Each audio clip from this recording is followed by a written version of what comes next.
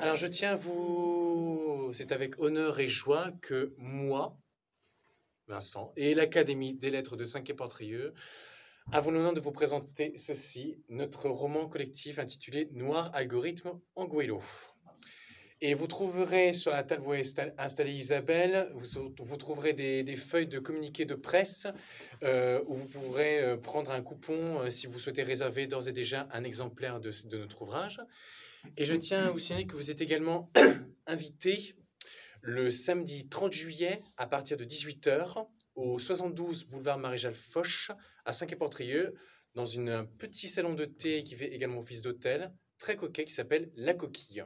Voilà si vous souhaitez euh, assister au vernissage de notre ouvrage euh, qui nous a qui nous a pris tout de même deux ans de travail au cours des ateliers d'écriture qui ont, euh, qui, qui, ont eu lieu tous les samedis matins du côté de Saint-Quay.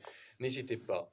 Si vous voulez découvrir un petit peu le, une petite station balnéaire en Bretagne un peu paumée, je ne sais pas quoi, et d'un seul coup, il y a quelque chose. Voilà, c'est ça un truc qui va faire complètement basculer les choses, mais je vous en dis pas plus, je préfère garder le suspense. Mais voilà, le 30 juillet, venez nombreux, vous êtes, euh, il y aura de la bière, etc. voilà.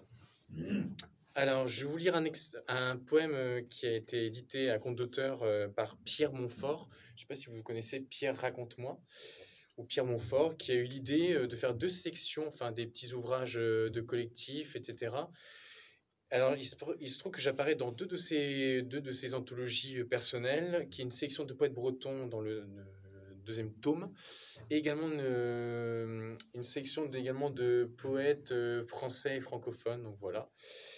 Et voilà, il se trouve qu'un jour, il m'avait sollicité lors d'un salon du livre à L'Envolon, ou peut-être même avant, je crois. Il m'avait sollicité également pour envoyer quelques années de poèmes, et donc je vais vous en lire un extrait d'une de ces anthologies. Solitude. Pleurent les villes, hurlent les sirènes, saignent les cœurs, mouillent les larmes, tuent les armes. Se lamentent les ondines, s'estompent les lignes d'horizon, s'enfoncent les vagues, se penchent les champs de vision, s'éparpillent les poussières de saison. Détruisent les pluies, règnent les orages, sonnent les corps de guerre, s'affrontent les camps ennemis, tranchent les gorges ceux dont l'âme n'existe pas. Broyons du noir et respire enfin nos existences jusqu'à la lumière, ce que s'écrivent les mots dont s'échappe un souffle.